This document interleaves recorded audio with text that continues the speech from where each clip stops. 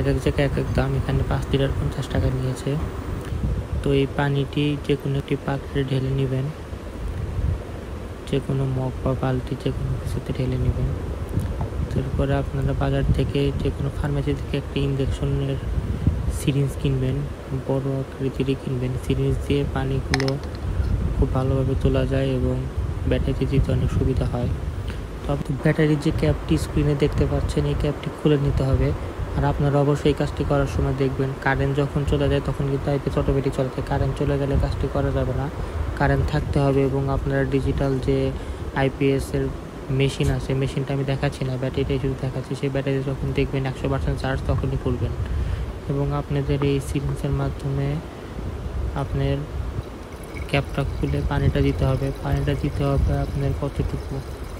দুই তিনবার পানি দেওয়ার পরে আপনি দেখতে পারবেন পানিটা ঠিক ওই যে একটা লাল দাগ দেখা যাচ্ছে সেই দাগ বরাবর চলে এসেছে। যখন দেখবেন যে নিচের লাল কাটাটা পর্যন্ত পানি ছুঁই ছুঁই ভাব, তখন আর দিতে হবে না।